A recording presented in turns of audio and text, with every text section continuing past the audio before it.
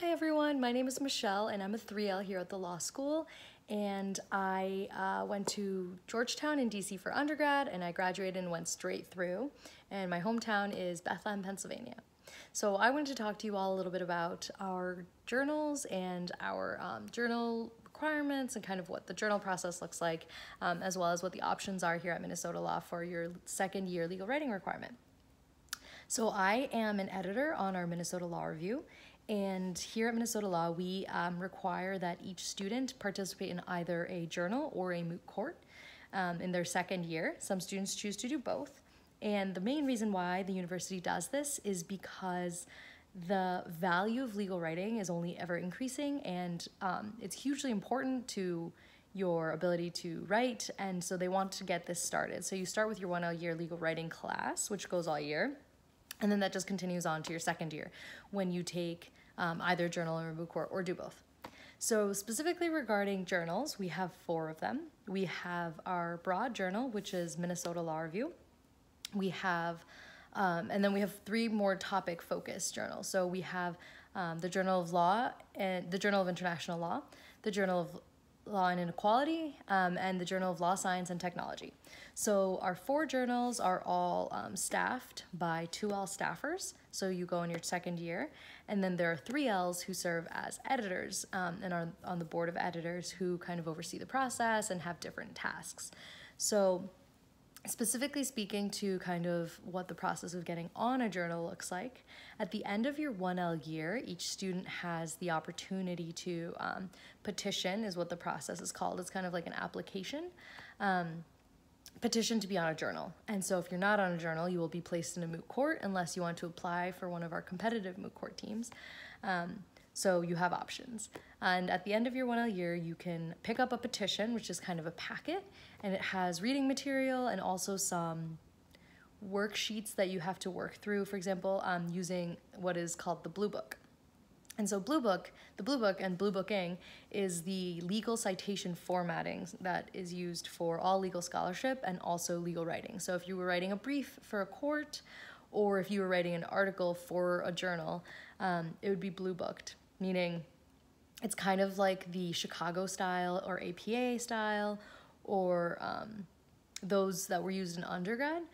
It is similar to that, but for the law, and so it's very structured and it's used across the country, and everyone formats it the same. So your 2L year, um, you petition, you write uh, a document, like a note uh, or a comment on the readings that you do, and then you um, do some of that working, some of that work with the Blue Book to kind of see if you can put the pieces together. Um, and if you liked the logic games portion of the LSAT, it's kind of like that. Um, you're learning how to work the rules and how to put them all together. So then you get on your journal, um, depending on which ones you rank and which ones um, you choose. Then you start as a 2L staffer. And as a 2L staffer, you are working mostly below the line, meaning that you're working in the footnotes. And um, as a as an editor, then you get to choose different positions. And so you do that work below the line editing footnotes, but you also write what is called a note, which is kind of an article um, that you choose. So you get to choose your topic. Um, I got to work with a really cool professor because you get placed with a faculty advisor and you talk with them, you meet with them. Um, they help you refine your topic, help you with your research. We had amazing research, we have amazing research librarians, and I used them extensively when I was trying to research my topic because it was very medically focused and I didn't really know how to research medical journals. Um, so they were extremely helpful in helping me do that and using different search engines, different search terms. Um, so it was really, really great process. And in the end, it culminates with um, a presentation to your fellow um, staffers and your professor. And um, that is what the 2L year looks like. So it's an amazing opportunity to work on your writing, also your blue booking, which is just an amazing skill set in itself for any legal career. Um, and legal writing, legal scholarship is really great because if you put in a lot of work, and it's really great because you have the opportunity to then be published in your journal. Um, so each year, each journal publishes some of the student notes. Um, and that's just an amazingly rewarding process. If you have worked really hard and you really want to, you can submit it for um, selection, and then your article might be printed and published. Um, so that is what our journals look like here at Minnesota Law. The Minnesota Law Review is a little bit more broad, as I was saying earlier, so you can write your note on any topic, as long as obviously it has um, a legal bend, but it can also have a policy bend. Um, and our other journals are a little bit more topic focused. So your note, for example, for Minnesota um, Journal of International Law, would have to have some kind of tie to international law. Um, but it can also you can also have a huge array of areas that you can write in. It just has to have an international law kind of angle. Same goes for Journal of Law, Science, and Technology and Journal of Law and Inequality.